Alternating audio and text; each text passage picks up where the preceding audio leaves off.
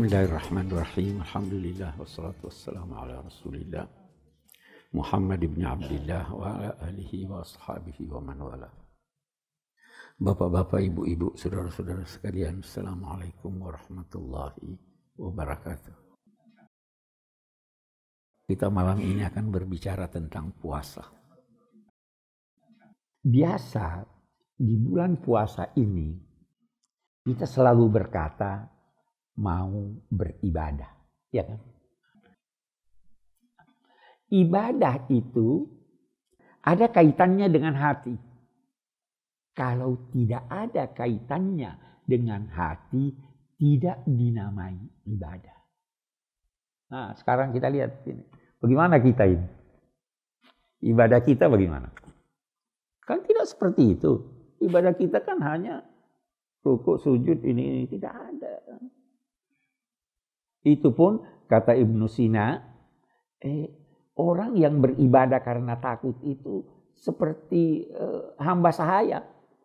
Sebagian mereka baru kerja baik kalau dilihat ya. Orang yang beribadah itu karena mengharapkan eh, ganjaran itu pedagang. Ibadah yang sesungguhnya itu dorongan cinta. Ini ibadah. Sayangnya sebagian kita sangat mempersempit arti ibadah. Kita sekarang mari lihat dalam konteks puasa juga ini kita kita ingin kaitkan itu dengan puasa. Allah Subhanahu wa taala menciptakan kita, ya kan? Itu ada dua ayat yang kait berkait dalam konteks tujuan penciptaan kita. Ayat yang pertama itu Allah nyatakan kepada malaikat sebelum kita diciptakan. Rencana Allah apa itu? Ini ja'ilun fil ardi khalifah. Semua manusia Allah bermaksud menciptakannya sebagai khalifah. Tidak usah dikaitkan dengan teori politik kekhalifahan. Tidak ada itu di situ. Yang kedua, ayat yang kedua adalah wa ma khalaqtul jinna wal insa illa liya'budun. Saya tidak menciptakan jin dan manusia kecuali nah ini tafsir sekarang saya mau jelaskan. Illa liya'budun. Ada yang mengartikannya kecuali agar mereka beribadah kepadaku. Ya kan? Itu umum itu begitu. Jadi ada dua. Jadi khalifah dan untuk beribadah. Ada yang mengaitkan seperti ini. Kalau begitu, ada dua tujuan kita diciptakan. Membangun dunia ini dan beribadah kepada Allah. Saya mau terangkan dari segi tafsir sekarang. Itu dalam dalam bahasa Arab ada kata lam li bisa berarti agar supaya, bisa juga berarti akibat. Illa liya'budun. Ini lamul akibah. Dia eh, eh, ditugaskan, dia ditugaskan menjadi khalifah sehingga semua kegiatannya dalam konteks kekhalifahan itu berakibat ibadah kepada Allah. Jadi bukan buat ibadah. Akibatnya eh, ini terpaksa ulama memberikan penafsiran semacam ini karena sudah sangat populer ibadah cuma salat, puasa, haji, zakat. Gitu kan?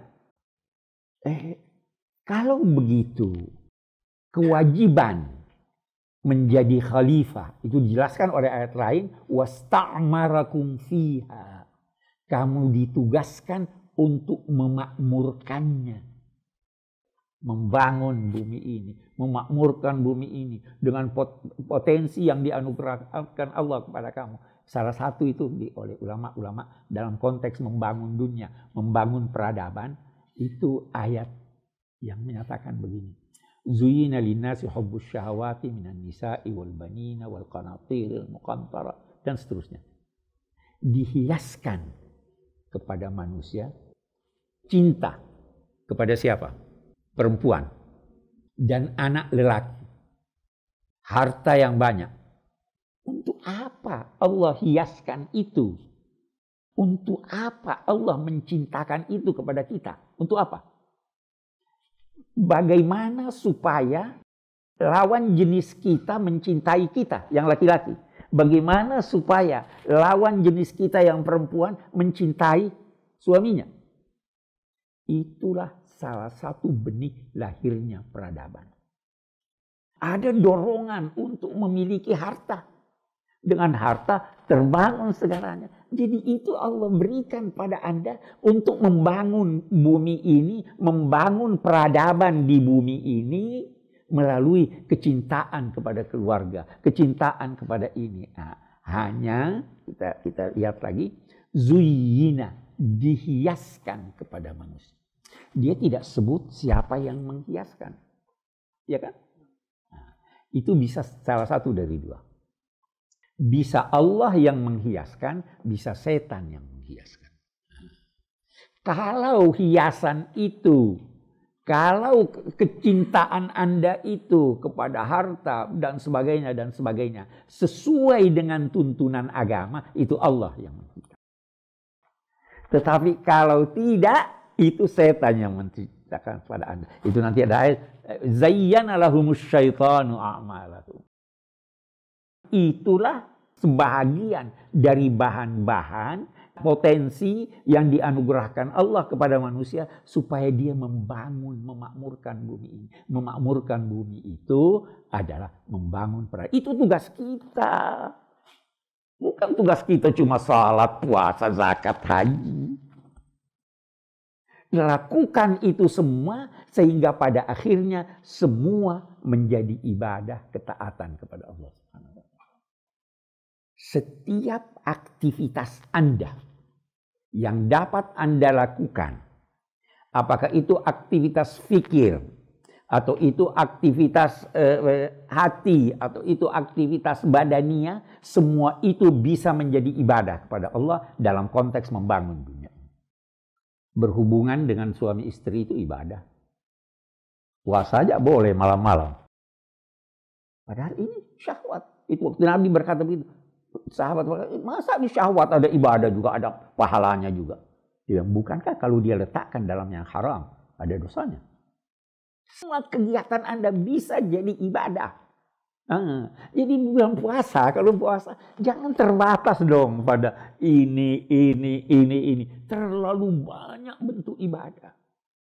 Saya sering berkata kalau bicara itu ada ibu-ibu, waduh kami datang bulan nih menyesal nih kita tidak bisa puasa dan sebagainya. Yang mendatangkan bulan pada anda itu Tuhan.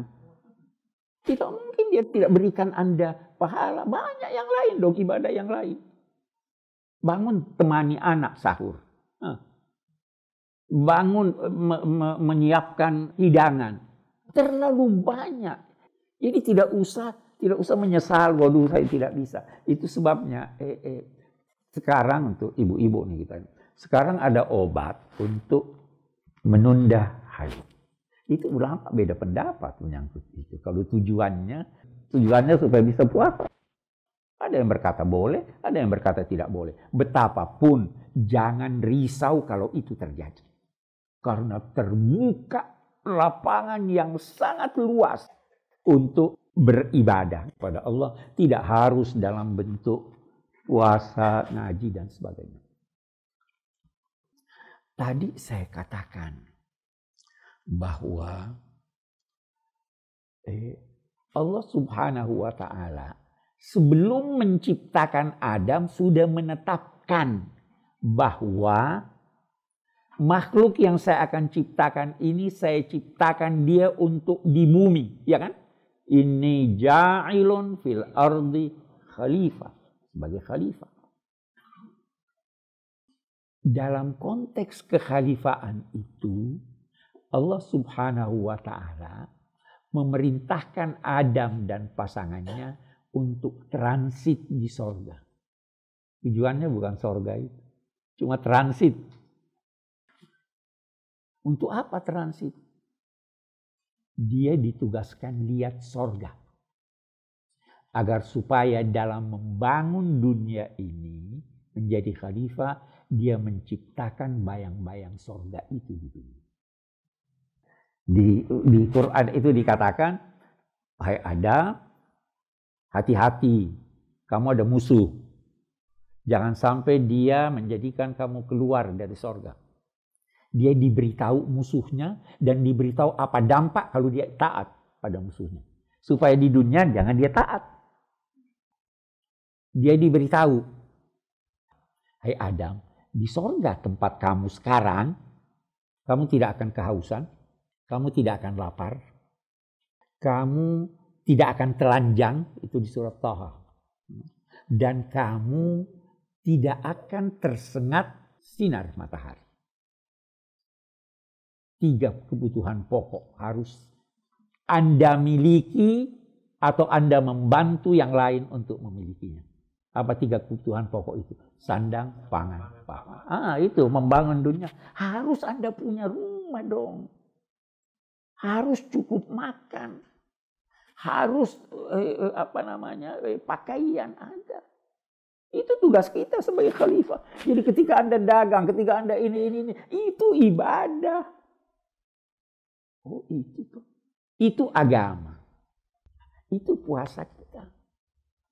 Sedikit lagi saya mau terangkan beberapa hal yang berkaitan dengan pengamalan puasa kita. Kita bicara sedikit hukum. Dalam madhab syafi'i, puasa Ramadan itu niatnya harus bermalam. Dalam arti, Anda harus berniat sebelum fajar. Setiap malam. Itu pendapat Syafi'i. Eh, memang niat itu tidak perlu Anda ucapkan. Niat itu tekad di dalam hati untuk melakukan sesuatu. Ya kan itu niat. Ah. Tetapi ulama-ulama kita menganjurkan untuk diucapkan. Mari kita lihat, kita niat sekarang. Kenapa kita niat dalam pandangan Imam Syafi'i? Kenapa kita niat setiap malam dan sebelum itu? Nah, saya mau beri contoh lagi. Kalau Anda niat besok pagi jam 5 subuh, Anda mau ke Surabaya. Malam-malam sudah siap atau belum? So diperkirakan apa ini? Niat itu tujuannya seperti itu. Saya besok mau puasa. Puasa itu menahan diri mulai terbitnya fajar sampai terbenamnya matahari. Puasa saya yang kemarin boleh jadi ada kekurangannya. Ah, sekarang saya niat, saya sempurnakan. Itu gunanya. Kita memperbarui tekad, memperbaiki apa yang kita duga kurang kemarin, dan menyempurnakan apa yang tidak benar atau meningkatkan apa yang sudah benar. Supaya contohnya populer. Kemarin saya baca cuma setengah juz. Padahal saya mau kan ah, waktu niat itu tergambar itu. Itu gunanya niat. Jadi eh, walaupun dari segi hukum ada yang benarkan boleh tidak eh, ucapkan niat dan sebagainya, tapi sebenarnya tujuannya seperti itu sahur. Sahur itu sebenarnya bukan hanya untuk makan. Sahur itu latihan untuk bangun tengah malam. Bisa tidak kita begitu? Saya sering berkata kepada teman-teman yang suka nonton malam. Saya saya suka nonton itu kalau malam-malam bola udah. Saya bilang begini, Malu dong sama Tuhan. Anda siap kuat bangun tengah malam untuk nonton. Embok salat tahajud dua rakaat. Kenapa tidak? Itu latihan untuk kita ini. Kok bisa bangun ini? Itu kita tanamkan di dalam hati itu itu gunanya. Supaya puasa kita bermakna. Dan ada hal lagi yang lain yang saya ingin katakan. Eh, dulu zaman Nabi itu sangat populer memberi buka puasa orang. Eh, sekarang juga cukup populer, tapi sekarang ini ada hambatannya. Saya kalau diundang buka puasa hampir tidak pernah pergi. Karena macet lah, inilah, sebagainya. Tapi kita bisa melakukan apa yang diharapkan dari anjuran buka puasa itu tidak harus diadakan di rumah. Kalau di Mesir itu di jalan raya ada ada namanya Maidatul Rahman. Itu di mana-mana. Kita di sini aja di masjid-masjid ya. Di sana jalan raya penuh sepanjang jalan. Begitu selesai rame-rame mengapa namanya Eh, membersihkan tempat. Tak bisa itu. Eh, perlu kita pertimbangkan menurut hemat saya. Eh, menggunakan jam sahur, sahur dan buka puasa itu dengan keluarga. Saya lebih senang begitu dengan anak-anak kita, dengan ini. Mungkin tidak harus dalam bentuk kasih nasihat dan sebagainya. Kasih dia contoh, mari kita sholat jamaah dan sebagainya. Daripada kita habis. Jadi ada alternatif-alternatif. Kalau sepanjang tahun kita tidak pernah makan siang dengan anak. Ya, makan malam sudah capek dan sebagainya. Mari kita gunakan itu. Karena itu tadi ibadah itu bukan cuma terbatas di sini ibadah begitu. Itu itu hal-hal saya kira yang kita eh, perlu lakukan introspeksi lah. Kita perlu lebih baik dari tahun lalu. Kita perlu eh, eh, lebih menghayati makna puasa itu. Eh, ada yang berkata begini, puasa itu mengajarkan kita tentang pentingnya waktu. Anda kalau bukan bulan puasa, tidak merasa berjalan ini ya kan. Kalau sudah puasa, aduh kapan buka? Nah, sudah ya kan? Kapan sahur? Oh ini sudah berapa hari nih puasa? Itu mengajarkan Anda ini waktu ini ada harganya. ya kan? Ini kita tidak ada itu. Jadi, ah ini saya kembali berkata, ibadah itu bukan cuma mengaji, tidak makan, tidak minum dan sebagainya. Banyak aspeknya ibadah itu yang kita bisa lakukan dengan mudah. Kita bisa lakukan tanpa biaya. Itu tujuannya eh puasa. Mudah-mudahan ada manfaatnya. Assalamualaikum warahmatullahi wabarakatuh.